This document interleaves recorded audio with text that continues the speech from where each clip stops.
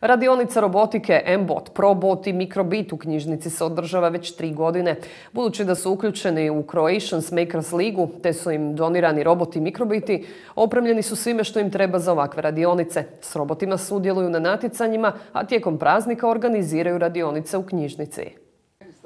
Prvi dio radionice od nekoliko dana bio je posvećen radu s mikrobitovima, malim čudnim spravicama s kojima se mogu raditi razna čuda.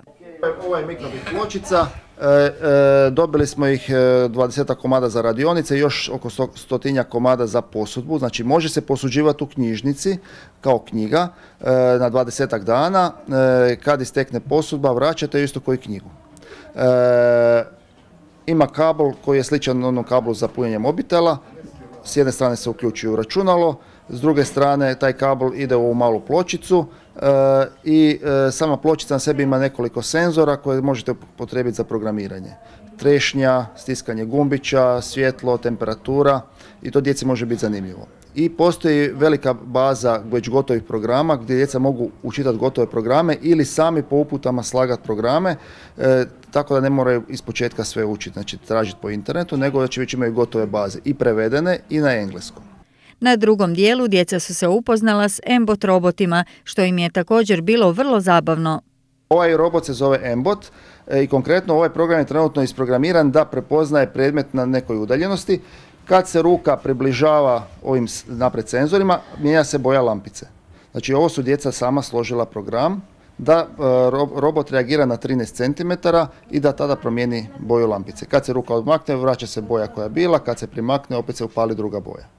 E, postoje još i senzori za praćenje linije, a ovo na podu su nam staze koje e, robot mora pratiti. E, I kad djeca savladaju korištenje ta dva senzora, u principu mogu savladati svaki program, odnosno zadatak koji imamo na natjecanjima. Prema riječima voditelja radionice Škrtića, svako dijete, pa čak i ono koje ne zna još čitati i pisati, može polaziti ovu radionicu. Predispozicije su da razumiju hrvatski jezik i da znaju neke osnovne riječi i brojke. E, čak i ako ne znaju riječi i brojke, e, programi su rađeni tako da su, e, imaju neke svoje oblike, blokovi imaju neke svoje oblike, imaju boje. I čak i na osnovi boje već dijete može i koje ne zna još čitati i pisati, može na osnovi boje i oblika sastavljati kao pazlice te programe. I to i vredi i za mikrobit i za, i za embot. Prema dojmovima polaznika, radionice robotike su vrlo zanimljive, zabavne i inspirativne. Što si naučio? Evo, kakvi su ti dojmovi? Je li bilo zabavno? Bilo je zabavno, ono, cool i tako.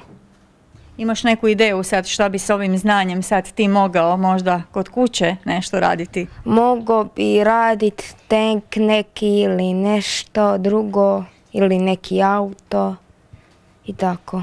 Ili autobus. Pa, pa, mikrobit je prvo ono da on zna nešto napisati ako se tamo na kompjuteru nešto složi ili napiše ili neke znakove ili bilo što što se tamo i tako i tako mikrobit inače što onda na sebi onako ima neke diodice onda da napiše kad se tamo na kompjuteru to isprogramira i randa se samo instalira a, a na emoti tako roboti će se narede neke naredbe da se nekako pokreta i onda na tipke na daljinski onda da po ovoj stazi vozi. Mhm. Vidim da si ti to e, jako dobro savladao, brzo pričaš o tome, sipaš ko iz rukava, ali ja baš nisam u to... Pa ja inače brzo pričam. Ma nema veze što ti brzo pričaš, ali ja to ništa ne razumijem. Ajde ti meni reci sad što ćeš ti sada s, time, s tim znanjem, jel ti već programiraš ko veliki i šta, šta te zapravo... Veliki jer i dalje učim.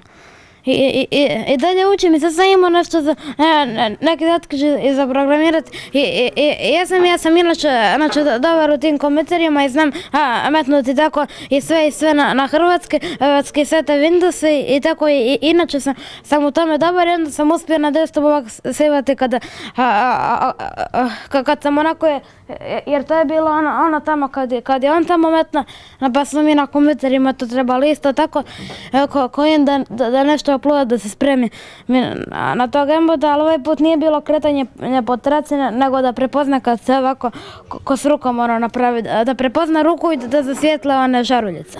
Prilikom prijava na radionice uvijek bude velika gužva, međutim to se tijekom prvih dana stabilizira na oko petero šestero djece po grupi koji s veseljem i zadovoljstvom otkrivaju nove vidike. Tijekom tri godine na radionicama robotike bilo je oko 400-500 djece osnovnoškolskog uzrasta.